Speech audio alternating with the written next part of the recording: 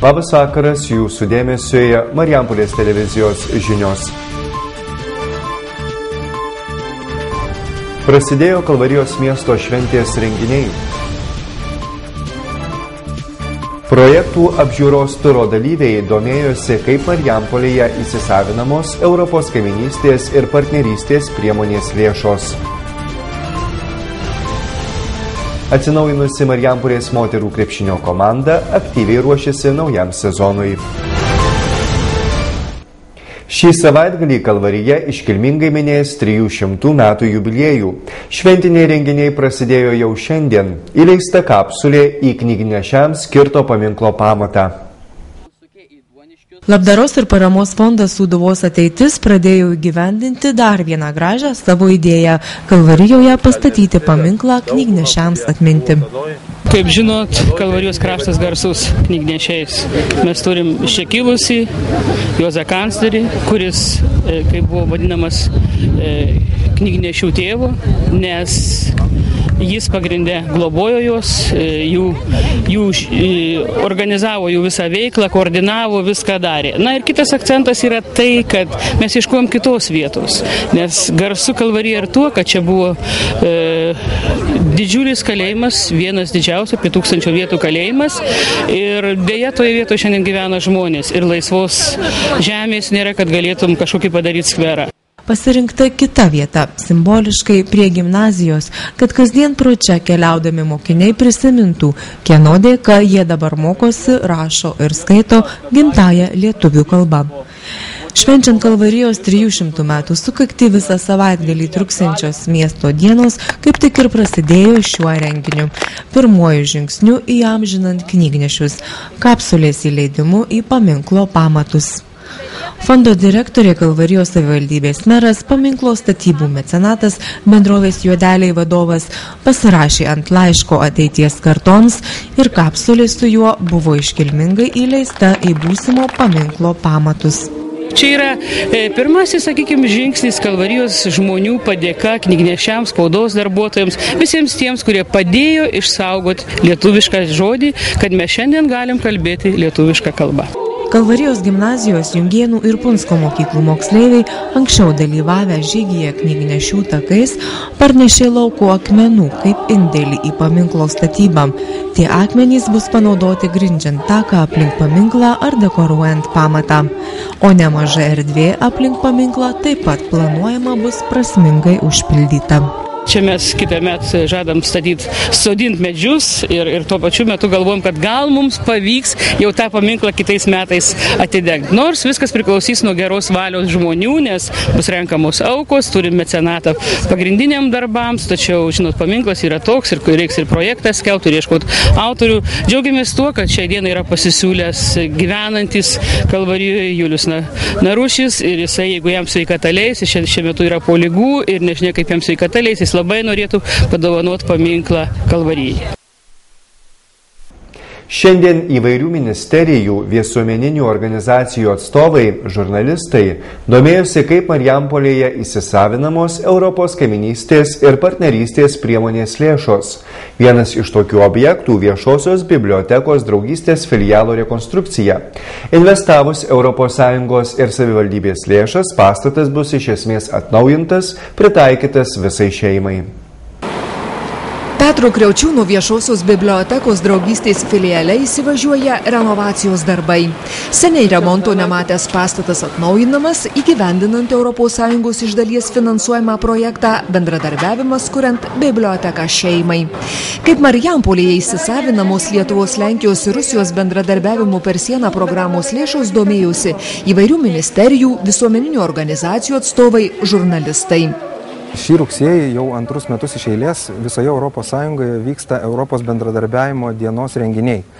Ir tie renginiai yra skirti pristatyti būtent bendradarbiavimo per sieną projektus plačiai Europos visuomeniai. Ir mes pagalvojame, kad Lietuvos, Lenkijos ir Rusijos bendradarbiavimo projektus geriausia būtų pristatyti štai tokią formą. Tiesiog pakvietėme visus norinčius Vilniaus gyventojus sėsti į autobusą ir su mumis smagiai prasilėkti per Lietuvą, apžiūrėti, kaip iš tikrųjų lietuviai, lenkai rusai moka bendradarbiauti, pasidalinti pinigus ir kartu spręsti problemas. Aukšto lygio politinis bendradarbiavimas, deklaracijos diplomatinėje, viešojoje erdvėje nebūtinai visą laiką atspindi tikrai žmonių norą, o tikrasis žmonių noras, kaip mes matome ir Marijampolėje, iš tikrųjų yra kadangi tu gyveni kartu, kadangi kaimynas yra ne vilkas ir į mišką nepa, nepabėgs, kaip aš mėgstu sakyti, tai kartu spręsti savo problemas. Ir jeigu dar ir ES duoda tam pinigų, kodėlgi ne, kodėlgi jų kartu nepasiemus. Prieš tai vykusiame Europos programavimo periode Lietuvos, Lenkijos ir Rusijos bendradarbiavimo per sieną programoje buvo įgyvendinti 160 bendrų projektų. Šioje naujoje programoje įgyvendinama 60 projektų matome daugybę pavyzdžių, kai tie patys pareiškėjai, tie pat, čia, tos pačios organizacijos vėl grįžta su tais pačiais partneriais iš Lenkijos ir Rusijos, reiškia, jiem to reikia.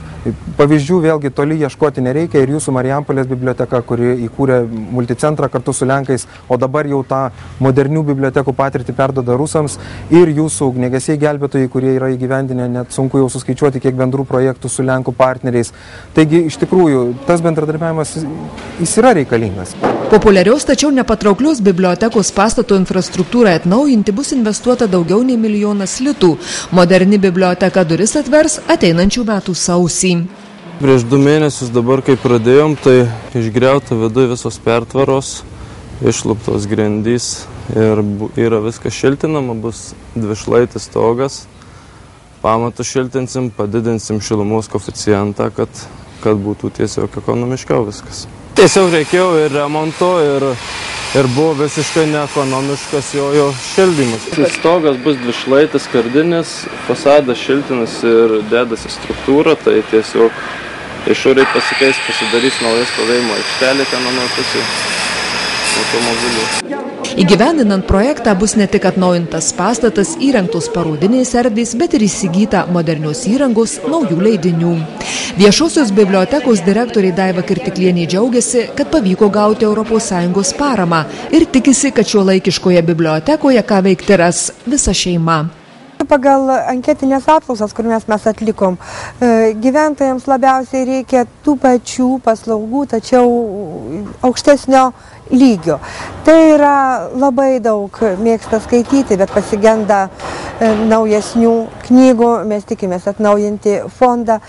E, truputėlį atskirai suaugę ir vaikų skyriai buvo.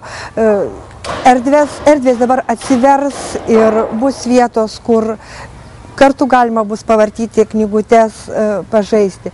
Vaikai labai mėgo aptūpti kompiuterius. Vėlgi tai buvo tik keli ir eilės laukimas. E, laukia atnaujinimas ir šitos bazės. Na ir aišku, e, jau vyko gražios parodėlės, tai jos dabar bus kitoje erdvėje ir mes daug stengsimės bendradarbiauti, ką ir darome su savo partneriais Černiechovsko bibliotekoje, keistis tomis e, parodomis, keistis mintimis, kurti e, tarp sienų, abipus sienų, skaitančiųjų klubus ir tie, tie pasikeitimai bus tiek virtualūs, tiek fiziniai. Iš Marijampolės turo dalyviai vyko į Kazlų rūdą, kur apžiūrėjo, kaip įgyvendinamas projektas partnerystės augant Lietuvos, Lenkijos ir Rusijos pasienio teritorijų vandenį. Pagėgiuose aplankytas kuriamas turizmo centras. Naująjį sezoną Marijampolės moterų krepšinio komanda Suduva pasitinka atsinaujinusi. Naujas treneris, dauguma naujų žaidėjų ir keliami aukščiausi tikslai. Marijampolės moterų krepšinio komanda Sūduva aktyviai ruošiasi spalį prasidėsiančiam Lietuvos moterų krepšinio lygos 20 sezonui. Komanda gerokai atsinaujinusi, pradedant nuo trenerio. Prie komandos vairo stojo Rimvydas Samulėnas, pakeitęs iki šiol dirbusį Stasį Žaliabarštį. Anksčiau LKL vyrų komandas treniravęs strategas sako moterų krepšinį prieėmęs kaip iššūkį. Aišku, yra skirtumas, yra skirtumas ir, ir vyrai viską daro turbūt greičiau, moteris lėčiau, bet, bet mergaitėms, kurios dabar mes dirbam, tai aš esu labai patenkintas jų atsinešimu į darbą ir, ir požiūrį į krepšinį, kur gal aš net negalvojau, kad taip moterys į krepšinį žiūri. Žiūrėsim, aišku, dar tik mes savaitę dirbom, tai reikia truputį laiko. Atsinaujino ir pati komanda. Šį sezoną Marijampolės Sūduvoje žais beveik visos naujos žaidėjos. Yra iš įvairiausių miestų ir, ir iš Klaipėdos, ir iš Kauno, ir vietinių yra iš Marijampolės, e, reiškia, pers, dėl perspektyvos yra jaunos merginos, e, Dovilė jauna, žaidžiusi Kaune, nors jinai yra iš Marijampolės ir labai perspektyvi ir gabi mergaitė.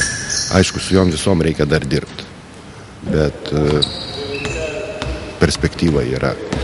Taip pat komandoje žais legionieriais iš Latvijos ir Junktinių Amerikos valstijų. Klubo vadovai dar ieško centro pozicijos žaidėjos, taip pat iš užsienio. Ir žinoma tikisi geriausių rezultatų. Kiekvienas treneris turi savo filosofiją, savo, savo strategiją, taip kad aš ką turiu, tai aš dėsiu savo, o koks rezultatas bus, tai gale mes pamatysim. E, treneris, manau, buvęs treneris Žalibaršys e, Stasys dirbo gerai, jis ilgametis, e, tren, ilgai dirba su moterim ilgus metus, jis žino moterų krepšinį. Ketvirtą vietą užėmė, skaitau, kad nėra labai prastas rezultatas. Dabar pasikeitė treneriai, nu, žiūrėsim. Sunku man dabar iš karto viską pasakyti, nes keičiasi, nauja komanda. Tikslai patys aukščiausiai, manau, ir, ir, ir remėjai, ir, ir komandos vadovybė e, norės, aišku, matyti geriausius rezultatus. Mes, aišku, stengsime nefilt, stengsime tą, aš kaip treneris, to labiau, kai, e, kad iššūkis man moterų krepšinė, tai aš norėsiu irgi kuo, greičiau, kuo, kuo geriau pasirodyti. Manau, panelės lygiai taip pat kelsim pačius aukščiausius e, savo reikalavimus. Nu, jeigu nepavyks pačių aukščiausių, manau, vadovybė nelabai mūsų ne, nebars. Marijampolės Suduva 2013-2014 metų sezone dalyvaus Lietuvos moterų krepšinio lygoje ir Lietuvos krepšinio federacijos taurės turnyre. Klubo vadovai netmeta galimybę žaisti ir Baltijos moterų krepšinio lygoje.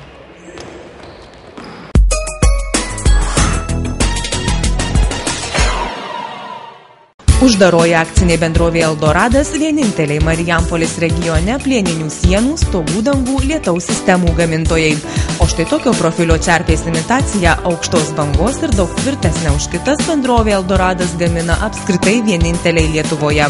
Žaliavas įmonė atsiveža iš Prancūzijos, todėl garantuoja kokybišką ir ilgaamžę produkciją.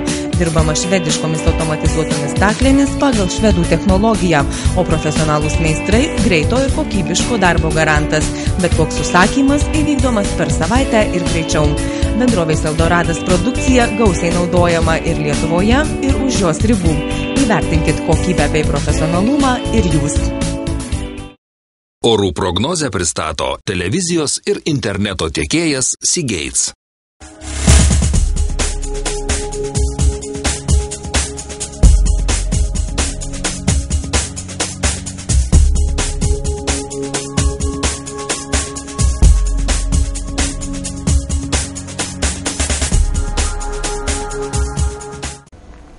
Tiek naujienų paruošėme šiandieną, su jumis atsisveikinu linkėdamas turiningo savaitgalio sudė.